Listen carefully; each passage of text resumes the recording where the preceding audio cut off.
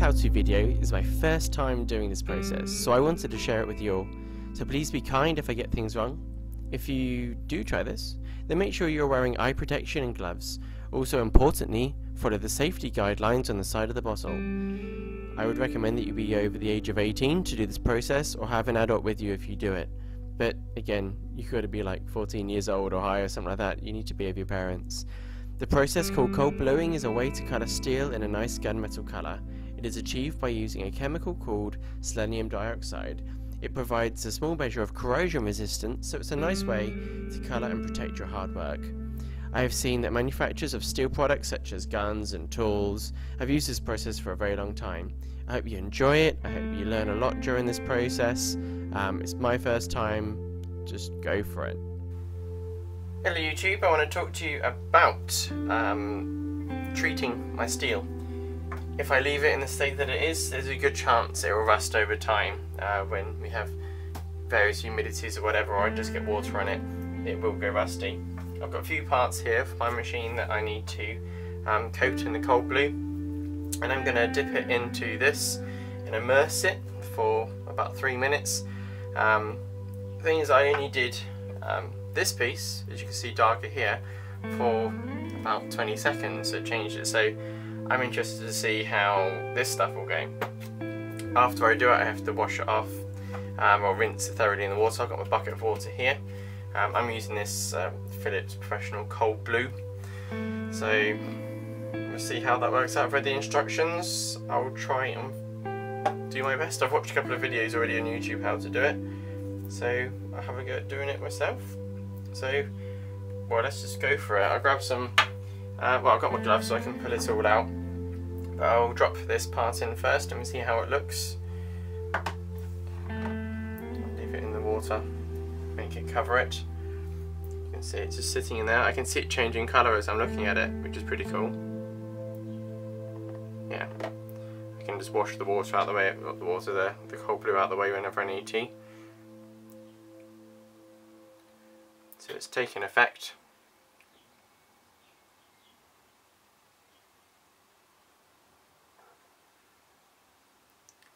See how it goes. My worry is that make it look terrible, but this is a part I can't really see on the machine once it's on, so at the moment it doesn't appear to be taken as quickly as the uh, the other stuff, or the other one that I did. But it did say three minutes on the other thing, so we'll see how this one looks.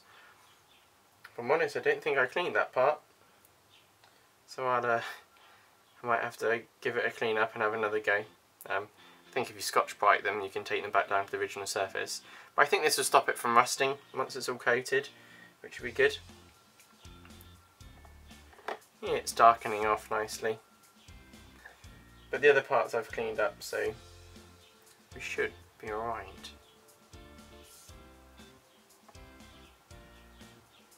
It's darkening off good, nicely, nicely good, good nicely. Darker and darker now. Don't if you can see. Get it out, have a little look. Yeah, a little bit longer in there.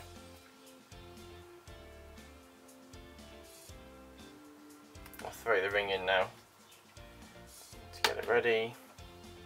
Some of these other parts And then we see how they come out.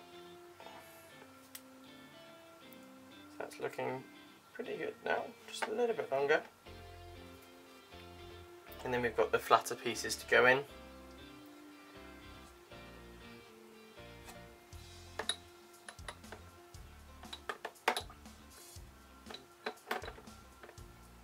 Yeah, I'm happy with that.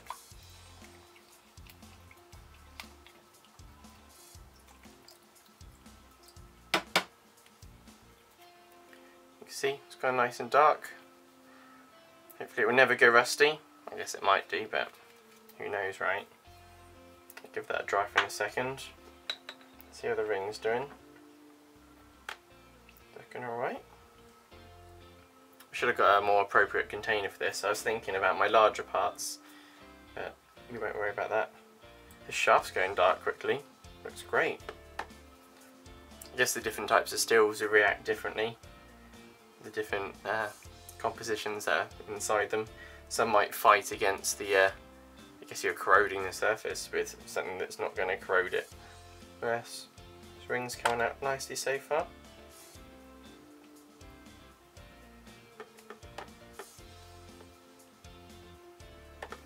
Just leave a little bit longer. It's not really a blue that it comes out, it's kind of a nice black colour but that's fine. It's cheaper than taking it down to the uh, the guys to go and plate it for me, so can't complain at that. What I do is get them black passivated, so passivated, yeah. Yeah, that bar looks good. Come into a lot quicker. It's in the water, give it a good rinse off so it doesn't get the flash rust effect that happens apparently if you leave it out in the air so that's good. My other piece, the this bit doesn't appear to be changing colour. So maybe there's something I've not understood about that material. It's not made out of aluminium, it's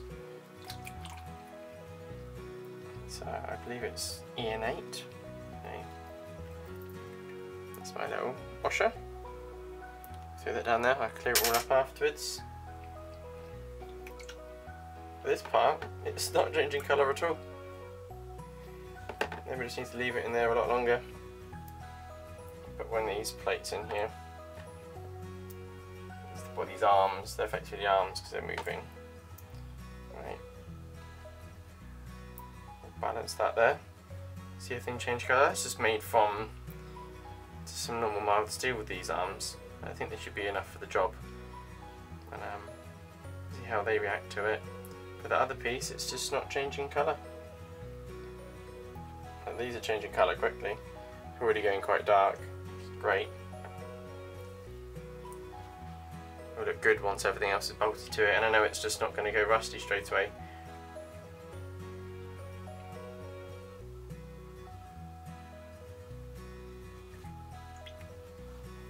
That looks great.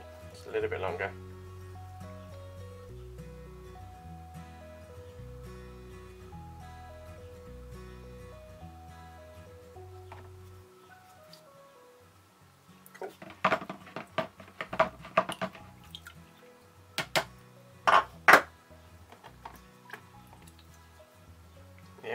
Great. Here's this other piece. It's very stubborn. So I don't know what I've missed with that, but I'll do a bit of research and maybe one of you guys will tell me how stupid I am and that it's a stainless steel piece or something. I thought it was just a bit of steel. Yeah, maybe it's stainless then. Well, at least you know you can't do it to stainless, if it was. Last piece is this piece here. I only have 250 mils. So I'm hoping I can cover it nicely. Yeah, I just have to shake it so it's just constantly covering it. Get this out of the way for you. Yeah, it's covered it. So that's good. We just let that change colour, go nice and dark.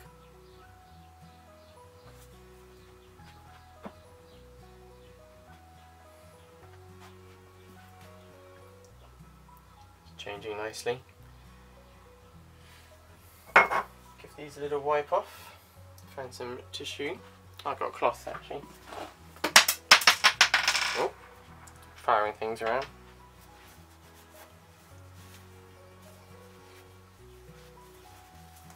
See how they look with them being dry. Nice dark grey colour that's drying off from the water. Uh, that looks pretty cool that gunmetal colour. Maybe that's where it all comes from. These wordings for things, for colours.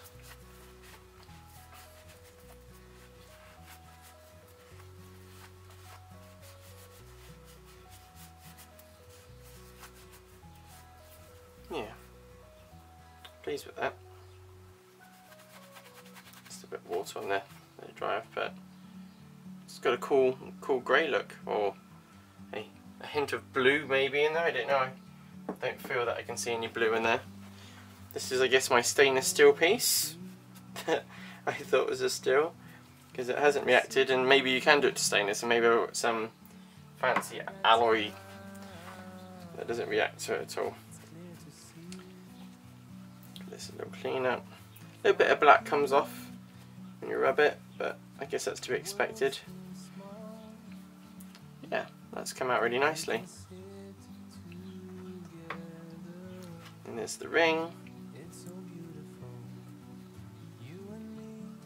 Yeah, that's fine.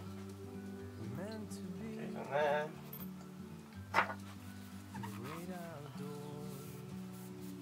And this is the hinge pin for the assembly for when it pivots around. Uh, that looks looks nice. Yeah, it's got a real good colour to it. Last of all, we have this big plate. Just wipe that surface.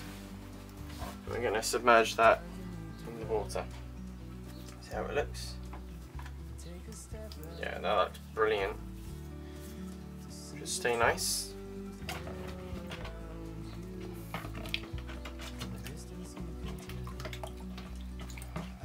This is an old um, bucket I had for when I was doing some painting. It's the only thing I had to hand to put all the water in. So yeah, let's give it a clean off. This is a dirty rag, but it's actually been through the wash a bunch of times and uh, it maintains the stain.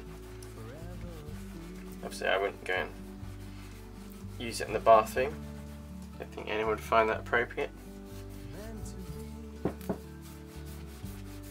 No, really pleased with how this has come out.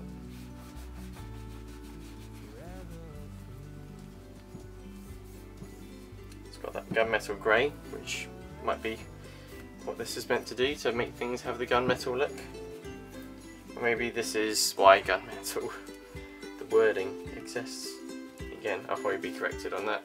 Or maybe not. It's nice to learn things. But that is a cool colour. Absolutely brilliant is.